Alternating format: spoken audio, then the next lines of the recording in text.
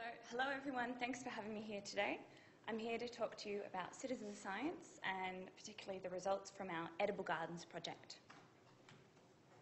So, in our vision of a sustainable future, urban agriculture is widely perceived as this sort of scalable approach to improving urban food security. We've got really grand plans for what cities of the future are going to look like, and urban food seems to play a really big part in what we think will happen.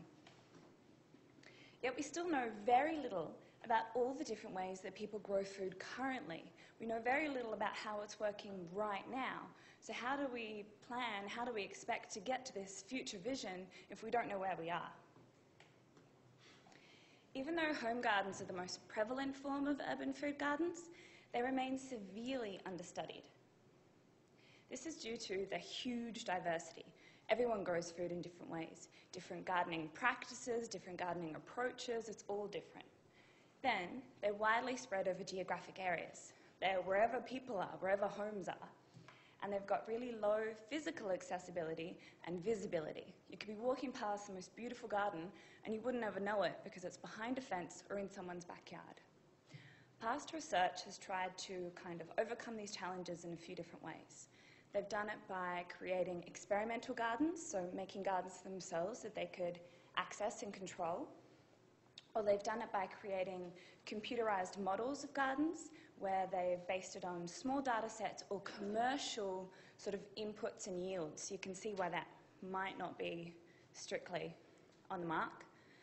Um, and the research that has been conducted really on sort of on community gardens and home food gardens has only been about 12 recent studies, and then maybe a handful from back in the 70s and 80s. So we're talking really small amounts of actual measurement, of actual data. And some of the people, some of the projects that have tried to record this data, it's very hard to record all of the inputs going in. So people have included costs, but not all costs. Or they managed to get people to weigh food, but not include the time they spent and water, particularly, has just not been measured. One study from 1985, that's it. Water use is very unknown. But another approach that, of course, can help us overcome these things is citizen science. So, citizen science enables a large cohort, cohort of gardeners to collect data on the diverse variety of gardening practices they use over an extended period of time. And this is super useful because I'm one scientist and our team is kind of three people, and we cannot get to every garden and say, hello, can we please collect data every day and every week and maybe every month? And actually, could that be a year? Would that be okay? So it just, it's a bit hard. This is where the Edible Gardens project comes in. We launched the project in September 2016 and we wanted to learn more about the productive capacity and social value of urban agriculture in South Australia.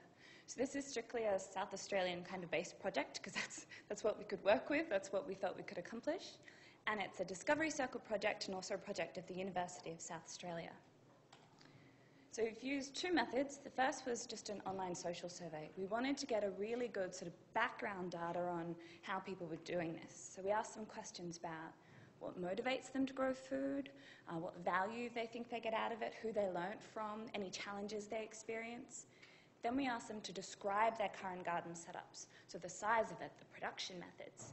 And finally, we ask them to estimate how much time, money, and water they thought were going into their gardens and whether they thought they were saving money. We've had more than 400 responses, and it's been this real um, age range of gardeners, which is wonderful. The second phase is in-field garden data collection. So even though about 70% of the survey respondents said, yeah, I want to collect data, we had to kind of whittle that down a little bit, because that's a lot. Um, so at the moment, we have about 60 registered gardens. And this map in the background is a Google My Map that we've got of all the survey respondents' postcodes and the coloured bits are the local government areas around Adelaide, and this is quite zoomed in on Adelaide. But our survey responses spread much further than just sort of Adelaide metropolitan. We've got um, survey responses from Mount Gambier, Port Lincoln, Port Augusta, down past Victor Harbor.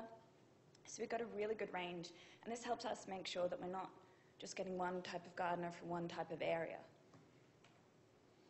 This is our process for selecting the participants to collect in-field garden data.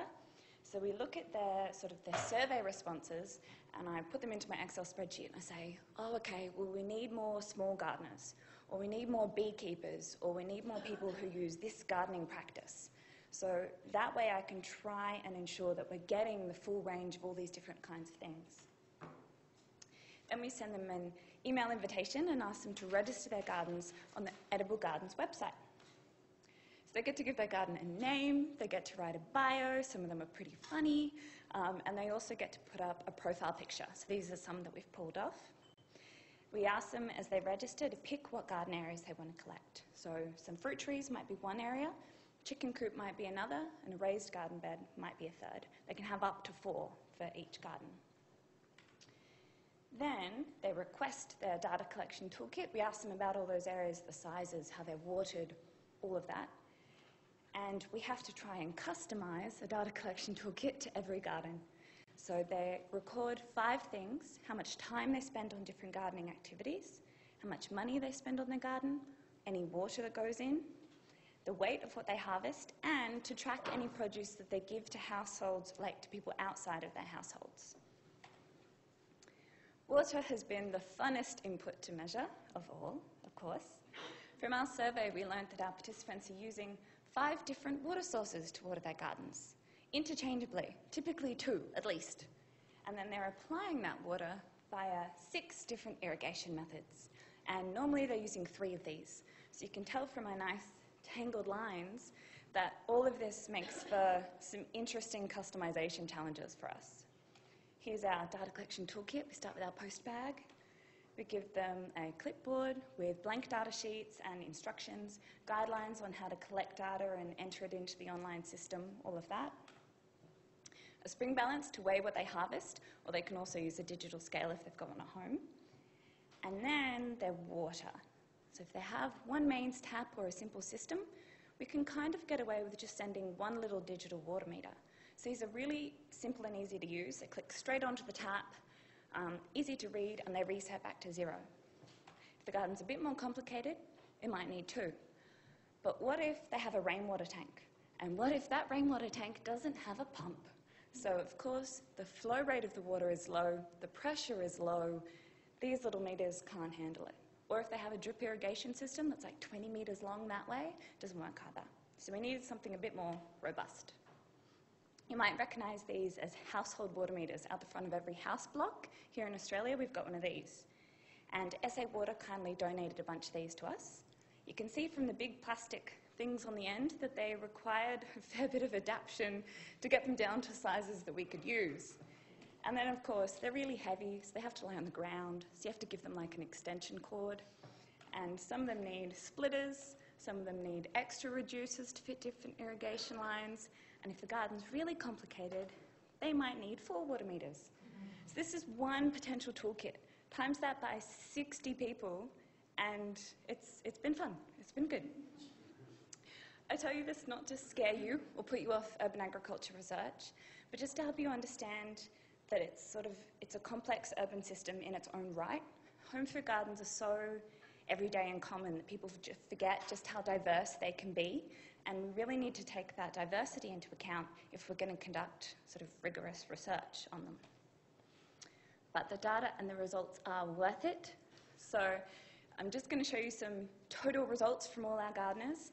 This is from our 60 gardens over 17 months, 10,000 data entries into our little online databasey thing. And all up, people have spent 2,431 hours 666 kilolitres of water.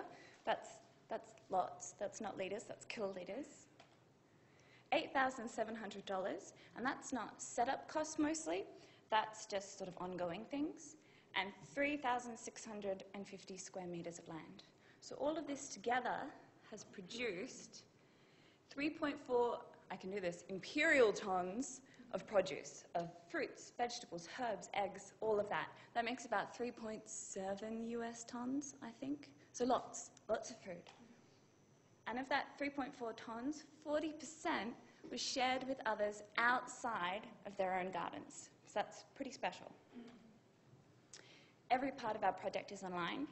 Our participants, sort of their registration page is linked to where they put their data in, is linked to these results charts. So they enter data, the results are instantly available for them to see and play with online.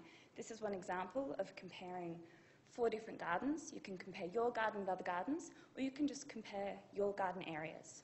All of their data is downloadable, shareable on social media, um, and you can save it all for yourself. I encourage you to go and have fun playing with these because they're pretty cool. Take home messages is that yes, urban agriculture is incredibly diverse. But by using a citizen science approach and crafting this interactive, supportive online interface, we've managed to kind of overcome most of the challenges.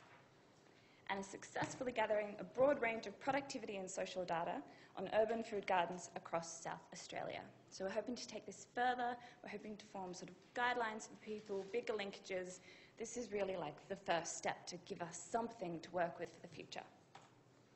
Thank you for listening.